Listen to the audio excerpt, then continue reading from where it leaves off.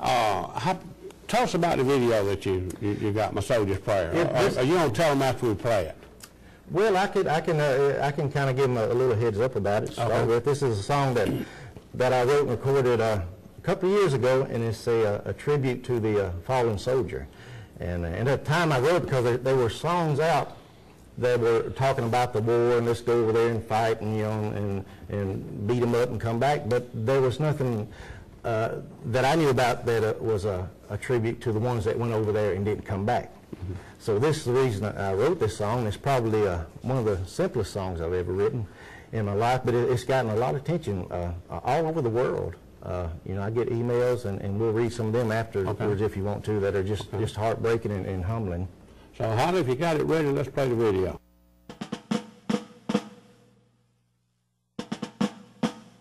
Is freedom worth the price they pay? Ask a soldier, here's what he'll say. I'll proudly die for you, my friend. Though we don't know you, you don't know him. Say it's their job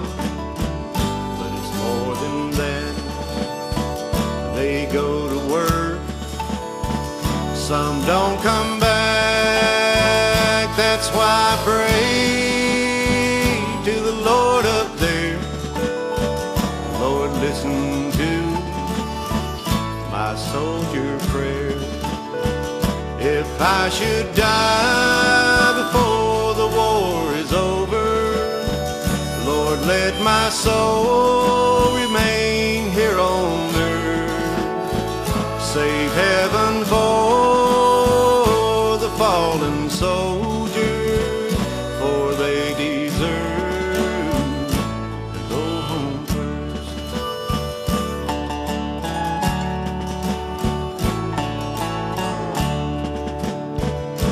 Those pearly gates they open wide.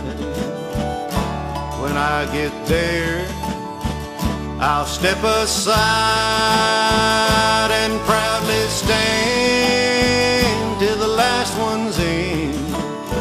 Say, welcome home, my fallen friend. So if someone asks, is it worth the price? Can I give back those soldiers' lives? No, I can't, but this I swear on bended knees, my soldier prayer. If I should die before the war is over, Lord, let my soul Save heaven for the fallen soldier, for they deserve to go home first. Lord, I know this is a strange request. In fact, it may be one you've never heard. But if you'll give me a minute, I'll try and explain. As you know, our soldiers fight and die every day for the sake of freedom, and that's one debt that just cannot go unpaid. I believe all our soldiers have earned their share of heaven. So if you would, and if you have time, please make sure there's a mansion for each and every one. And Lord, if you need one more, well, just give them mine. For they deserve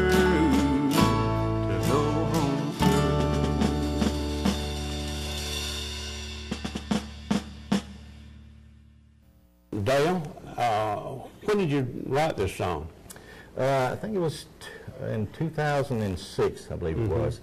Uh, and, and, and a little, a little, if I got a second, a little history behind the writing of it.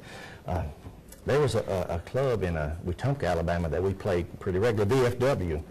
And we would go there at least once or twice a month. And, uh, and, and there was a time when a couple that was coming out and see us quite a bit. They, I was walking by their table one, one night and they said, uh, hey Dale, said, uh, do, you, do you do any patriotic songs? And I said, well, uh, not really. I said, but there's one I'm working on. And I just had the chorus of the song. So I sang it to them, you know, just a cappella right there at their table. And, and from then on, every time they would, we would come back, they'd be there and asking me, have you finished that song yet? You know, and I, you know, it was a simple song, but I just didn't see the impact it would have. So I told my wife, we were, we were scheduled to go back up there, so I told Robin, I said, baby, I said, we gotta, you gotta help me finish writing this song, because then people are worrying me to death about this, you know, so. So we finished, uh, we, we wrote it, and, uh, that night at the show, the band hadn't even heard it. So, uh, they, were- we went on breaks. so I went back on the stage with just, just me and a guitar, and I said, I wanna do this song I just wrote and I sang it, and it was just amazing that the whole club, everything just stopped. Uh, everybody was playing pool, whatever doing, they stopped and turned towards the stage.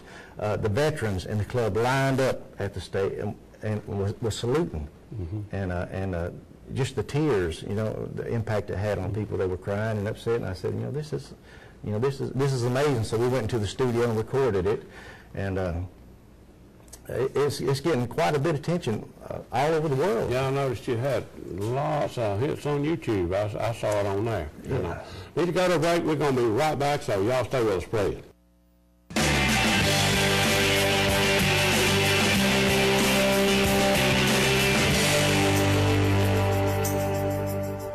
We're back. I'm Calvin Farr, and our guest today is Dave Patillo and Dave Boswell, and we're talking some with Dale as we go along about a song he's written. He fixed that real quick, didn't he? Well, what-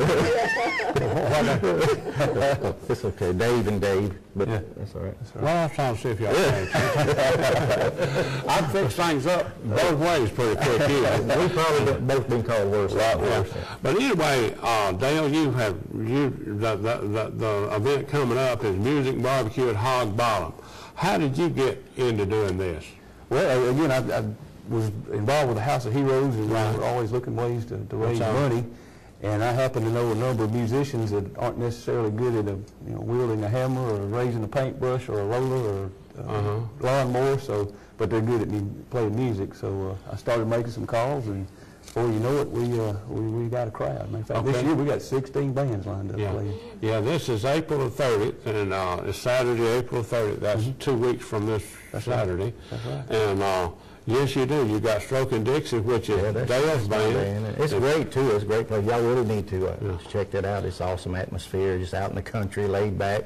And, uh, and we've been honored to play it the last two or three years. Yeah, it's it's been third year, I think. Yeah, third year. Uh, he's got a group called the Grave Robbers, Donald Dixon, Fiddler Blues Band, uh, Buddy Harden Band, Cat Reed, Jimi Hendrix and the Big Fun, Wildwood Bluegrass. What, what, I didn't get that right. Y'all want to finish? close. I, I, I, I, I really enjoyed the Jimmy Hendrix. I was gonna think y'all was doing- yeah, Jimmy Dam, I was just checking y'all out. Blue Harvest, uh, Bibb City Ramblers, the Shady Branch, Rick Edwards, the Sean Fox Trio, and Barbecue Authority. And I like that, that caught my, eye. is that the name of the group? That's the Barbecue name of the group, Authority? and I've not heard them yet, but I understand they're really good. You thought that was a restaurant, didn't you? Uh, well, uh, barbecue caught my eye.